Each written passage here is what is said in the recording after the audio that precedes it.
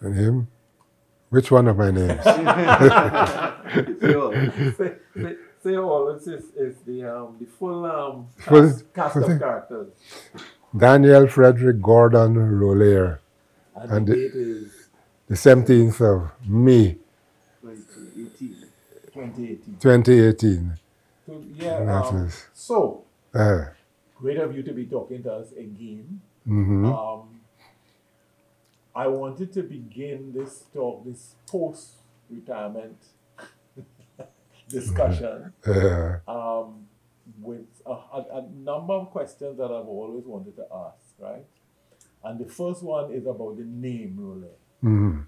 Where you get this name from? Well, I keep telling people I was born with the name. Right. Um, where it came from, according to family history or legend, was that sometime in the late 19th century, during one of the many wars between Austria and Germany, an Austrian woman had a number of sons. They say seven sons, but six of them perished in, in, in, in, in- this war. Yes, You know, there was a- an attempt to unify Germany. right. Um, and she decided that uh, she would send the seven, seventh son away. First to Holland, Amsterdam, where she had a sister, and the sister sent the son to Suriname. He subsequently came across to Guyana, and he became, he was an engineer, and he became, in time, I don't know how much time, but he became the manager of Albion Sugar Estate. And from that time, which would have been now maybe 1890s, maybe, maybe going to 1900, you got uh, a number of Rohlehrs, a number of people bearing the name Rohlehr. Spread it, spread it seed. I don't know, but seed was spread. and uh, because you find that, I mean, the Rohlehrs are basically a mulatto looking kind of family.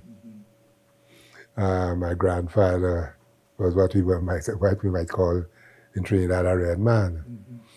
Um, but he, he, he was the grandfather, my grandfather was a shoemaker. Um, but somehow he was also um, in charge, let us say, of the mental asylum in Berbice, Guy- Berbice Guy- Guyana. Okay, I- choose for mad people.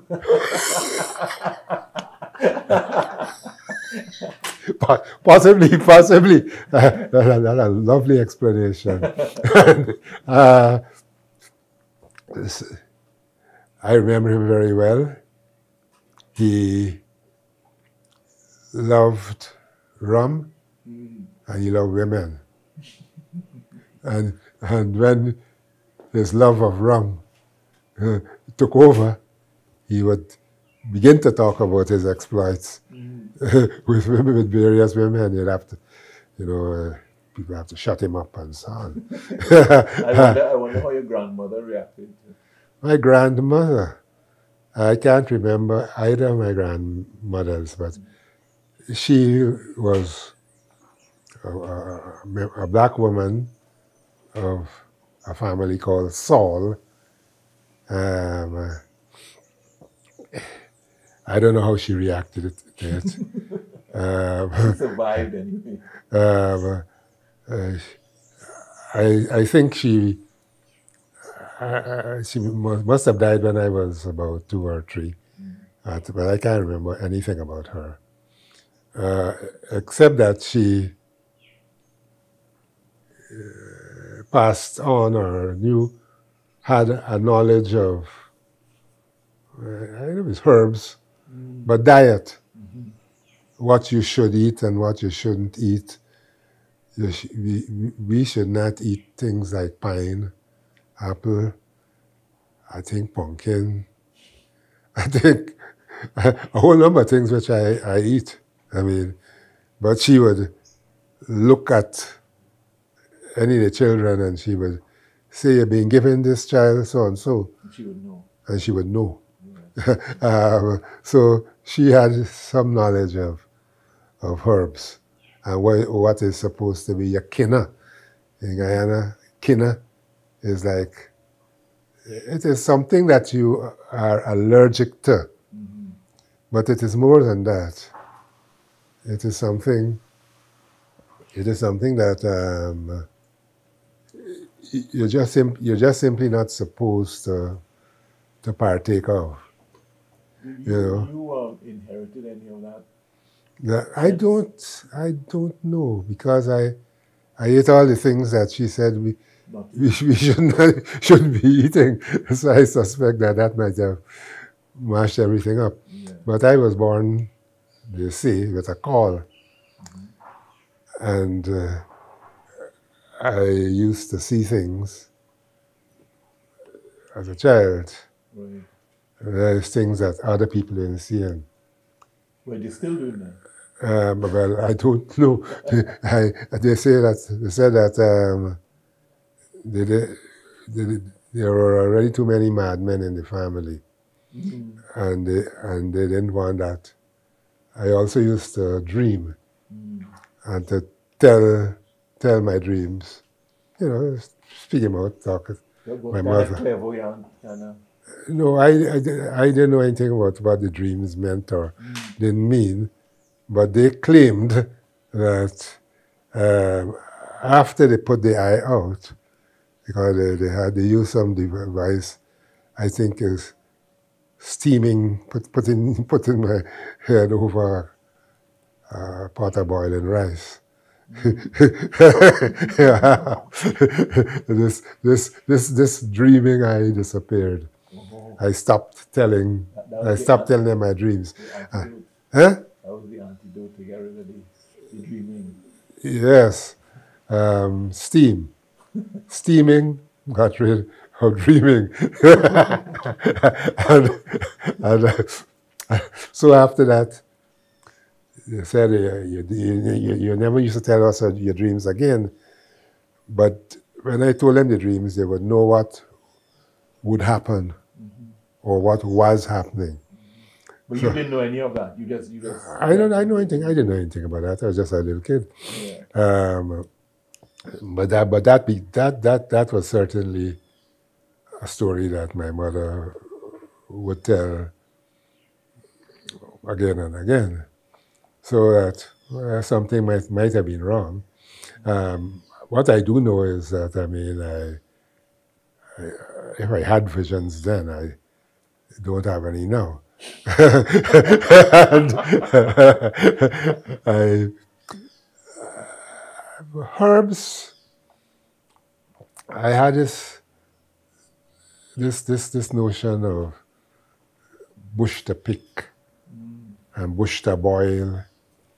And at some point in time, I think when I had a serious attack of typhoid, and typhoid uh, typhoid mashes up your whole inside. Um, I I, I told them to pick this or that bush and uh, boil it and to serve it in a clean new calabash. Uh, I- now, again, that, you would have been what age when? at that point, I, I might have been about seven or eight. And um, I got better, but my distinct memory is that I might have gotten better because of Mr. Tim McKee, who was the, the druggist, chemist, druggist, and who mixed up the nastiest tasting medicine that you can ever imagine. I'm sure that is Mr. Tim medicine that drove whatever out, out, you know. But they say, nah, man, it's the, it's, the herbs.